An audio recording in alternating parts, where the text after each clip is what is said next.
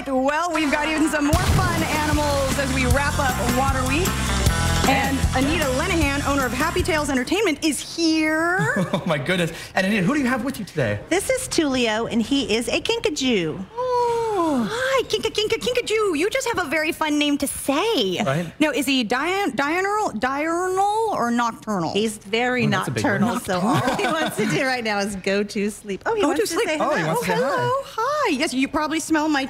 You probably smell savvy. Oh well, hello. Hi. yes, yes, that's the microphone. Oh my goodness. How, So- how good is our eyesight? Because look at those eyes. Uh, he probably sees better at night than he does during the day. Of course, his eyes are usually closed during the day, right? Right. Because he's going to sleep all day. These guys are from Central and South America in the rainforests there. Oh. And um, Oh, oh. excuse me, Without even the offer of a cocktail. I know. Okay. they live way high up in the treetops, um, so the jaguars and ocelots can't eat them.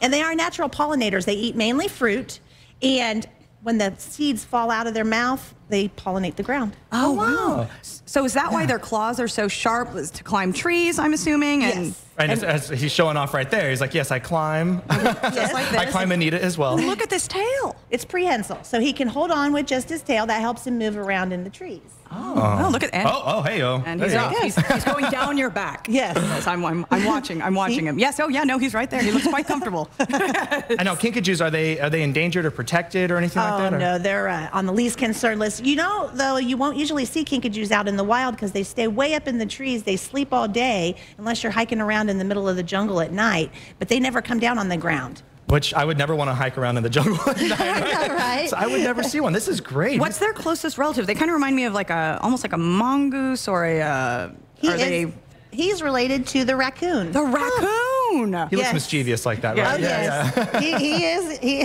he's a troublemaker, as you can see. but he's he's a sweetheart. He's a sweetheart. Yes. Okay. All right. And I think we have cute. another animal Right? coming on in, right? Uh-oh. Yes, this is Ginger. Ginger. And Hi, Ginger, Ginger. is an eight-month-old baby capybara. A capybara. Capybara. She uh, is the world's largest rodent, and they are found in the swamplands of South America. Oh. No, look at those feet. Do they swim? Yes. Okay. she's an I see. I see the web. The web. The web mm-hmm. kind of toes there. And even though she's big right now, she's still very, very young, right? Yes, she'll get the size of a German Shepherd when she's full grown. Wow. The size of a German Shepherd? Yes. Wait, so how old is she right now? Or Eight how months. young? Oh, eight months? Eight months. How much she weigh? Give or take. what is she like? Uh, Uh, 20, maybe, no, probably 30? about 35, 40 pounds. 35, 40 pounds. She hides it well. right? What are I must what are your know tips? who you're wearing. Yeah.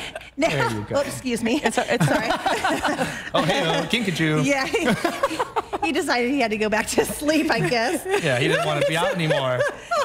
He's like, well, you're not talking about me anymore. I'm going to go hide a little I bit. know, right? now, these guys are diurnal. We talked about the kinkajou being nocturnal. Mm-hmm. That's why he's in my shirt wanting to go to sleep. She'll be awake all day, and they sleep all night.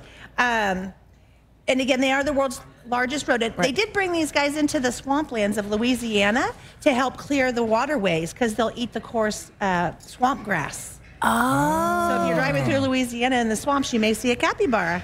And so, literally as big as a German Shepherd. Yes. I've, I've, that's, that's She'll incredible. weigh, I'm trying to picture that right now, and that would be a sight to they see. They can weigh 100 to 150 pounds when they're full grown. Wow. Yeah. Now, do they move fast? She can move fast when she wants to. She's uh-huh. probably a better swimmer than she is. Just doing some yoga. Yeah. Just doing some yoga. She's probably a better swimmer than she is walking around and running on the ground. okay. And Anita, so how do people book you? How like to get Happy Tales Entertainment at their event? How does that work?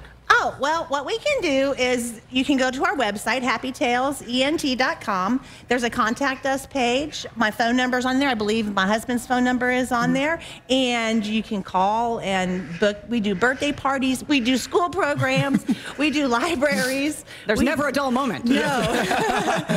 um, there's my little hedgehog right there. Aw. And uh, we we have 25 different animals, 20 of which do the programs. They get to interact with pretty much everything that we have. Yeah, and that's not a ringtone. That's an actual duck over here. That's right. Look at this guy. Who do we have here? Well, this is Polo. Hi, Paul. Marco. Marco. Hello. Oh. He's like heard that before. Yeah, he knew that joke already. Yes. And so he is what type of duck? He is called an Indian runner duck. An Indian Oh. runner duck. Yes, they originated in Indonesia, Uh-huh. um, but they are now considered a domesticated species here in the United States. Wow. And there are over 100 species of domesticated duck and 100 species of wild duck. Most of your wild ducks are the migratory ducks. Now, does he does like is this pet friendly? Can I can I may I pet him? Is Oh that- yeah, but he Okay. likes jewelry, so if you pet him, he might I, I've taught him to steal diamonds, but I was it's gonna okay. no, you guys can touch him. He's great. He's great. Okay. Let's see. Um, and so his coloring, you know, is is darker. Well, these guys come in all different colors. That's not like the microphone. Yeah, he was like, I was not prepared to say anything today. This was not on my that's list. That's not in his contract. yeah, not in the contract. Smart duck. They come in black and white and gray, Uh-huh. and some of them have a tuft on the top of their head. Um, the way you can tell he's a male Uh-huh. is um, he doesn't have it right now because he just molted, but they have a curly tail feather on their tail, right, right about here. Oh, okay. But he must have molted that one off, and it'll regrow. Um, they molt in the spring, just like most most of your other birds.